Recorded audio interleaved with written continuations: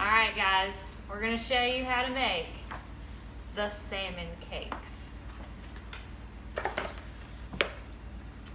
All right, so we start off first by baking our salmon. You don't have to fully bake the salmon um, because you're gonna cook it later in the skillet as well. But if you'll notice, sometimes the salmon gets kind of juicy and we'll just scrape it up If there's a lot of liquid left in the bowl, sometimes I'll take a paper towel and kind of try to soak it up because that will lessen the amount of um, oats that you'll need to use to keep the cakes together.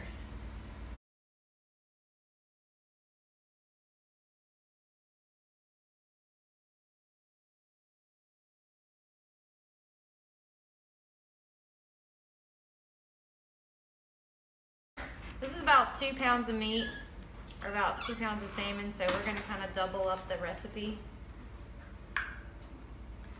So two eggs.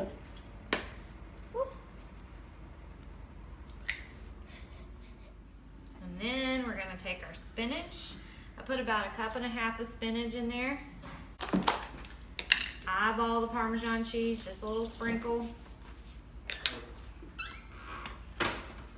gonna have about two tablespoons of mustard. Here we're using spicy mustard. You can use Dijon mustard as well. Um, onion powder or green onions. We didn't have any green onions, so we're just gonna get that onion flavor in with a little sprinkle of onion powder and some garlic powder.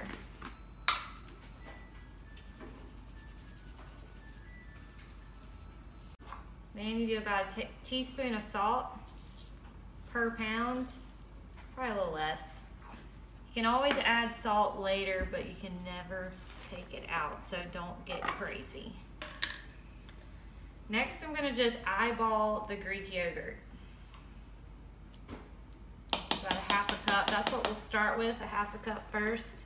And then about a um, quarter or half a cup of the oats in this two pounds and let's see what happens. If we need to, we'll just add more oats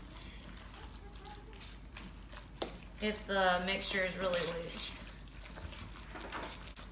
It's looking like it's gonna need some more oats, so that's all I'm gonna do.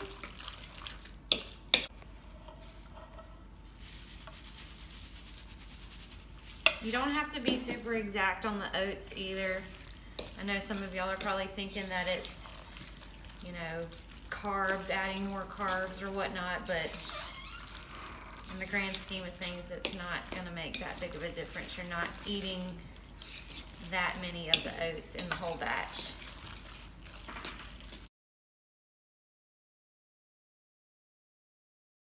I may add just a little bit more Parmesan cheese, just because I like it.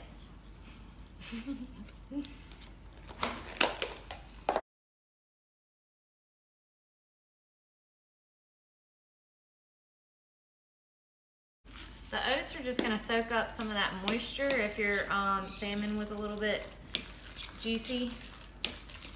And that's getting to the about the consistency that might be good to work with.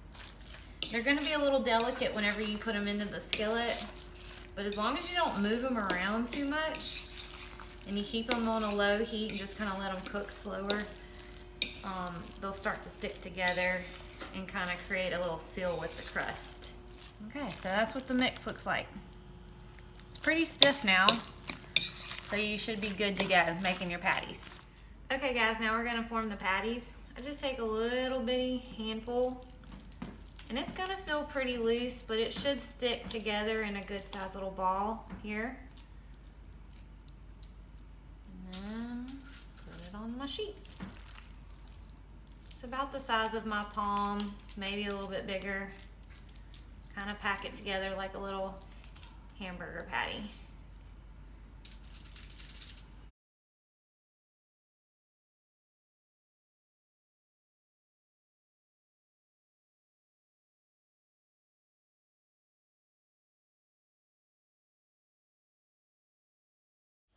All right guys, we got this on about medium low heat I did a little test to see if it was hot enough and now we're gonna add in a cake. Yes, they're gonna be delicate. Just try to keep them together because they'll seal up once they start cooking. Make sure it's not too, too hot or the outside burns before the inside gets a chance to kind of stick together. What are you talking about? No, Seaweed. what this is? Oh, Okay.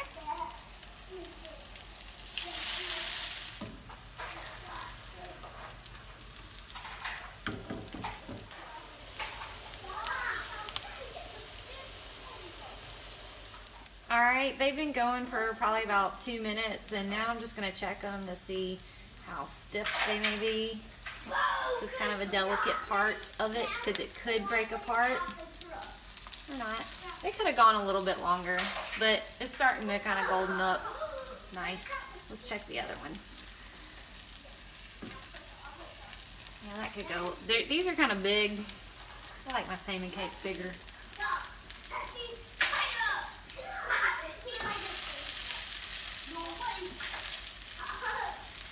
You want to caution um, your heat, so it's better to go lower and slow than fast and high. So right now I even had to turn down the heat or on a gas stove, and that's a little bit different than you know cooking on a um, no, normal stove top. But um, we're about low to medium, more so on the low side while cooking these guys. Let's see how this guy's doing. See, they're staying together pretty well. As long as you don't move them a lot and just kind of let them set and cook together, they shouldn't fall apart. So these are gonna go for another two minutes, two to three minutes on each side. I'm gonna keep checking it, make sure I don't burn it, but as long as the heat up's not too high, they shouldn't burn and they'll get nice and golden and crispy. All right, guys, this has been on there for about three minutes or so, probably longer. We lost track of time, but that's okay. They're nice and golden, and they stick together. So we'll do it again. That guy, the other side. Put him over here. You see, they shouldn't be really falling apart nice and crispy.